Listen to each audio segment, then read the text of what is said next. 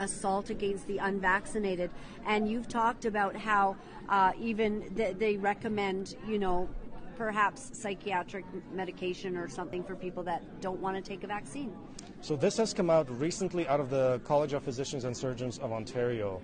The college sent out a, a, letter or a memo to all the doctors in Ontario suggesting to them, now so far they're not mandating it, they're just suggesting it, that any of their unvaccinated patients that they should consider that they have a mental problem and that they should be put on psychiatric medication.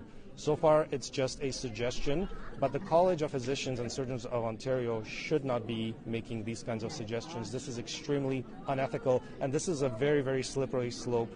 Uh, if, if they're suggesting that people who wish to have bodily autonomy and, and don't want an experimental vaccine, that there may be something mentally wrong with them, that is a very, very dangerous, slippery slope that we're on. Oh, man, you're so right. I just thank you for your courage.